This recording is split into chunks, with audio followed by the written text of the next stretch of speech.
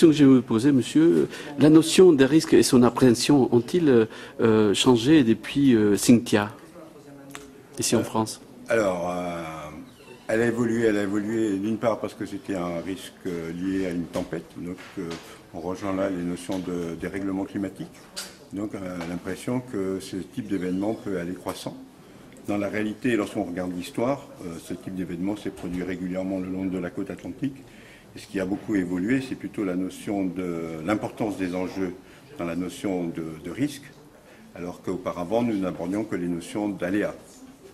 S'intéresser au phénomène, peu aux enjeux. Or, aujourd'hui, on se rend compte que c'est la vulnérabilité des enjeux et le nombre d'enjeux dans ces zones euh, exposées à ces inondations ou à ces, ou au séisme ou aux autres aléas qui posent aujourd'hui problème. En tirant les leçons du passé, est-ce qu'aujourd'hui on est euh, mieux préparé ici en France pour euh, faire face à ce type de risques, et notamment avec les inondations que vous avez aussi constatées ces dernières semaines? Alors, dire qu'on est mieux préparé, je dirais, ça sera peut-être un peu les, les événements futurs qui montreront si on est vraiment mieux préparé ou pas. Je ne pense pas qu'on soit mieux préparé individuellement. Peut-être qu'au niveau national, euh, les services d'intervention, les pompiers, la, sécurité civile, la Croix-Rouge, tout ça est mieux préparé pour faire face à ce type de situation.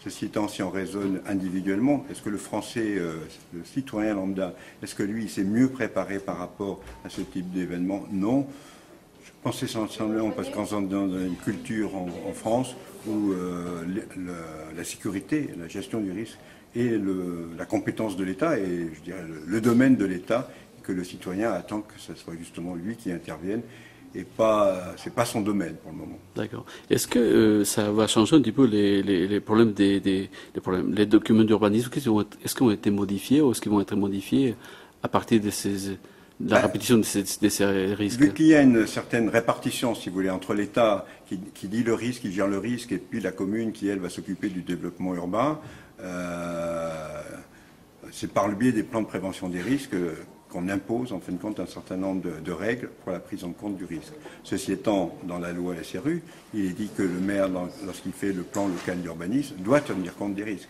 Normalement, il n'y aurait pas à attendre qu'il y ait un plan de prévention des risques pour tenir compte des risques. La réalité est qu'aujourd'hui, en fin de compte, s'il n'y a pas de PPR qui vient s'imposer vis-à-vis du PLU, il y a quand même très peu de communes qui intègrent cette dimension-là euh, sans le risque. Dernière question. Sans le PPR. Dernière question que j'ai envie de poser, c'est doit-on vivre, euh, voire canaliser euh, le risque aujourd'hui Est-ce qu'il y a quelque chose de culturel dans, l'approche qu'il en a bah, Si vous voulez, si on prend les derniers, les derniers événements dans le sud-est de la France, on vit avec le risque. De toute façon, mhm à partir du moment où il y a des phénomènes il y a des enjeux, il y a risque. Donc on vit avec le risque, on n'a pas l'intention, euh, d'abord on n'a pas l'intention de supprimer les, inondations, et ensuite on n'a pas l'intention de faire évacuer les gens qui se trouvent dans les zones exposées. Mmh. Donc on se trouve confronté, euh, obligé d'être confronté à ce type d'événement, il faut s'y préparer, il faut s'organiser, il euh, faut s'adapter.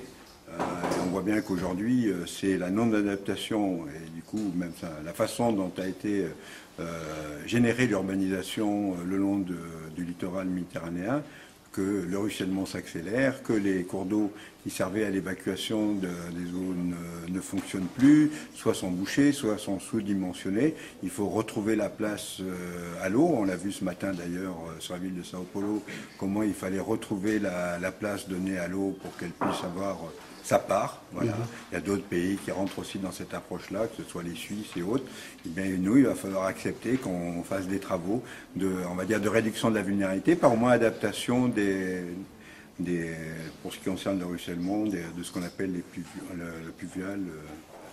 Très bien. Une dernière question que j'ai envie de poser, c'est euh, est-ce que euh, ces phénomènes, notamment ce que vous avez évoqué aujourd'hui, nous avons évoqué, ça touche davantage l'urbain et non pas euh, le reste du territoire qui quand même reste agricole, reste, je parle dans le monde, hein, je ne parle pas juste ah.